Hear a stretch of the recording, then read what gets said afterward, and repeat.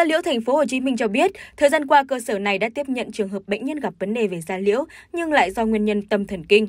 Trường hợp bệnh nhân nữ 30 tuổi nhập viện vì ngứa và có nhiều vết loét giải rác cơ thể. Bệnh nhân cho biết đã mắc bệnh khoảng 2 năm. Ban đầu, tình trạng ngứa ngáy chỉ tập trung ở hai chân và đi kèm với các vết loét da đóng mài. Bệnh nhân được điều trị viêm da cơ địa nhưng không giảm, ngứa và loét da lan khắp người. Khai thác bệnh sử cho thấy, người phụ nữ bị đái tháo đường 8 năm nhưng bỏ điều trị khoảng một năm nay. Qua thăm khám, bác sĩ phát hiện bệnh nhân bị giảm cảm giác sở chạm và giảm cảm giác nhiệt ở hai chân, phù hợp với tình trạng bệnh thần kinh ngoại biên do đái tháo đường. Ngoài ra, bệnh nhân còn mắc chứng rối loạn lo âu. Bệnh thần kinh ngoại biên do đái tháo đường cũng rối loạn lo âu, thúc đẩy bệnh nhân cào gãi và móc da, tạo thành các vết loét trên da và thường gây ảnh hưởng đến hai chi dưới với các triệu chứng bệnh lý như Dấu hiệu sớm, giảm cảm giác đồng đều ở hai chân, chủ yếu là bàn chân, có thể lan đến cẳng chân nhưng ít khi vượt qua đầu gối. Cảm giác tê bì ở chân, đặc biệt là ngón chân và hai bàn chân.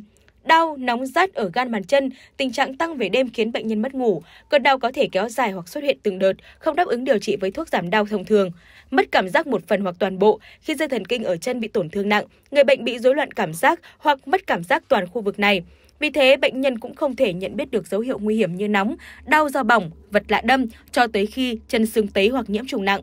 Triệu chứng tương tự cũng gặp ở chi trên và bàn tay, nhưng thường đến muộn hơn, nặng nhất là người bệnh mất cảm giác hoàn toàn, gây nguy cơ loét bàn chân.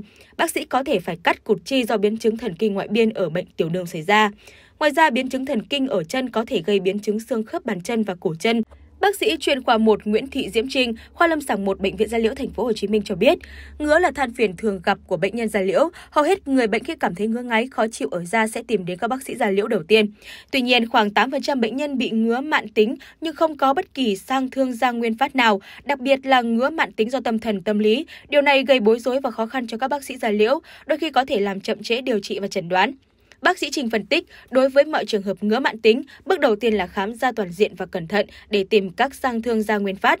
Trong trường hợp bệnh nhân ngứa nhưng không có bất kỳ tổn thương da nào, các bác sĩ phải thực hiện bước tiếp theo. Cụ thể cần làm các xét nghiệm máu tổng quát để loại trừ các nguyên nhân bệnh nội khoa, hệ thống gây ngứa như sơ gan ứ mật, suy thận mạn, cường giáp, khi các cận lâm sàng không tìm thấy bất thường, cần nghi ngờ ngứa mạn tính do nguyên nhân tâm thần kinh và tìm qua các dấu hiệu gợi ý.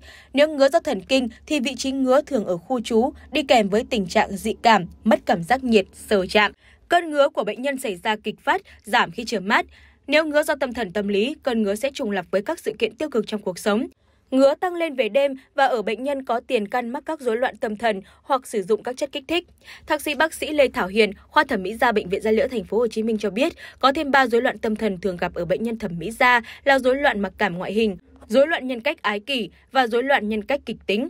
Việc phát hiện và xác định rối loạn tâm thần giúp ích trong việc đưa ra quyết định xem bệnh nhân có muốn thực hiện thủ thuật thẩm mỹ da hay từ chối để chuyển sang chuyên khoa tâm thần kinh điều trị.